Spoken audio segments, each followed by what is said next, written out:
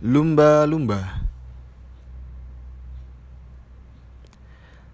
Di lautan tropis yang biru, tinggallah tiga ekor lumba-lumba bersahabat. Mereka adalah Luna, Uma, dan Abah. Mereka senang berpetualang. Ketiga lumba-lumba ini juga bersahabat dengan manusia.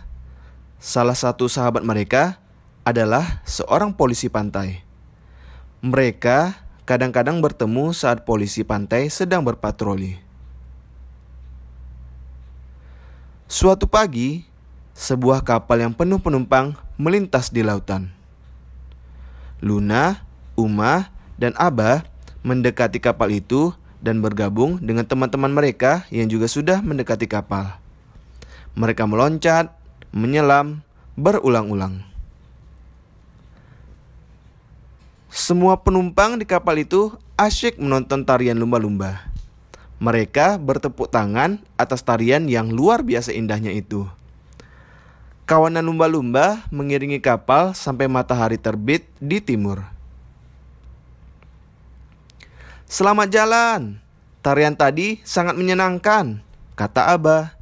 Sampai jumpa, kata ketua rombongan lumba-lumba itu. Luna, Uma, dan Abah memisahkan diri dari rombongan lumba-lumba itu. Luna, Uma, dan Abah lalu berenang cepat mendekati sebuah teluk. Di sana, mereka melihat perahu yang penumpangnya adalah beberapa turis. Ayo teman, kita hibur mereka, ajak Luna. Mereka bertiga pun meloncat, salto, dan berjalan di atas air dengan sirip ekornya. Para turis sangat bergembira dan sibuk memotret lumba-lumba itu. Saat Luna, Uma, dan Abah meninggalkan teluk, mereka bertemu dengan kawanan lumba-lumba yang terlihat panik. Ada apa? Tanya Uma. Kami mau pergi ke lautan yang lain. Di sini tidak aman. Ada manusia yang suka memburu kita. Teman kita ada yang tertangkap, katanya. Hiu pun bisa mereka tangkap. Setelah diambil siripnya, hiu itu langsung dibuang ke laut dan akhirnya mati. Jahat sekali, kata lumba-lumba itu. Luna, Uma, dan Abah tak percaya mendengarnya. Benarkah manusia itu jahat? Apakah kita juga harus pergi sampai keadaan aman? Tanya Uma. Ya, tapi ke mana? Tanya Abah. Bagaimana kalau hutan terumbu karang? Usul Luna. Ide menarik. Kita tamasya sambil menikmati ikan yang enak, kata Abah. Lalu, bila kita bertemu manusia jahat, tanya Umah, kita harus melawannya, kata Luna. Ya, setuju, seru Abah. Siapakah pemangsa lumba-lumba? Pertama, hiu besar. Kedua, paus pembunuh. Dan ketiga, bahkan juga manusia. Luna, Uma, dan Abah lalu meluncur ke terumbu karang yang melingkari sebuah pulau. Wow, sebuah hutan bawah laut yang sangat indah. Ketiga lumba-lumba itu meliuk ke kanan dan ke kiri mencari ikan yang lezat. Tapi mengapa air tak terasa segar dan ada hanya ikan-ikan yang sakit dan pingsan? Ada apa? Ketiga lumba-lumba itu segera menjauh. Mereka melihat seorang nelayan di atas perahu. Ia melempar jala ke laut, dan ikan-ikan yang pingsan itu dengan mudah dapat ia jaring. Lalu nelayan itu pergi menuju terumbu karang lain dan menabur racun potas lagi. Akhir-akhir ini memang ada nelayan yang suka menebar racun di terumbu karang. Dengan racun itu, nelayan menjadi mudah menangkap ikan.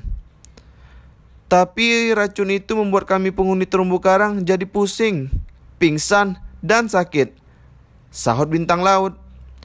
Juga tidak sehat, timpal Abah. Ikan-ikan akan cepat habis dan makanan kita akan cepat habis juga, kata Abah. Wah, ini tak boleh dibiarkan, kata Luna. Ikan sakit memang mudah ditangkap, tapi tidak enak dimakan, saut Uma. Apa yang mengancam hidup lumba-lumba? Lalu lintas kapal, ada racun dan bom, manusia, serta laut kotor dan tercemar. Apa yang akan kita lakukan? Tanya Uma. Lawan! Ayo kita gagalkan perbuatannya, kata Abah. Ketiga lumba-lumba itu berenang ke arah perahu nelayan dan mulai beraksi. Mereka bergantian meloncat, menupukkan ekor mereka ke badan nelayan. Nelayan itu kehilangan keseimbangan dan biur. Ia terjebur ke laut. Sang nelayan segera berenang ke pantai, meninggalkan perahunya. Lumba-lumba itu segera menggulingkan perahu supaya ikan-ikan yang sudah terjaring dapat kembali menyentuh air. Aku yakin ia akan kembali untuk mengambil perahunya, kata Luna. Dan ia tentu akan membawa teman, saut Abah. Bagaimana kalau aku dan Luna mencari sahabat kita? Polisi pantai itu, tanya Uma. Ide bagus, saut Abah. Abah tetap berada di sekitar terumbu karang. Luna dan Uma pergi ke rumah polisi pantai di tepi laut.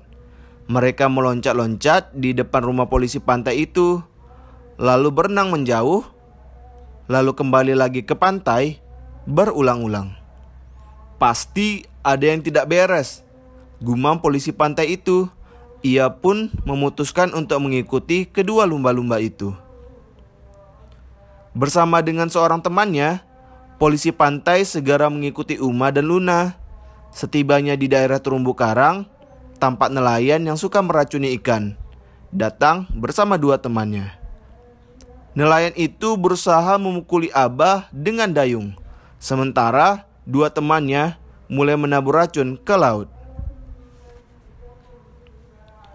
Perbuatan buruk mereka dilihat oleh polisi pantai dan mereka pun ditangkap. Terima kasih sobat, kata polisi pantai pada lumba-lumba. Lalu ia dan temannya pergi membawa tiga nelayan itu. Setelah mengalami banyak hal, ketiga lumba-lumba itu menjadi tahu bahwa manusia itu ada yang baik dan juga ada yang jahat. Kita akan tetap bersahabat dengan manusia, kata Luna. Kita butuh mereka untuk membuat lautan tetap nyaman untuk para penghuni laut termasuk kita kata Uma. Semoga manusia baiklah yang mengatur bumi ini, kata Abah. Di end.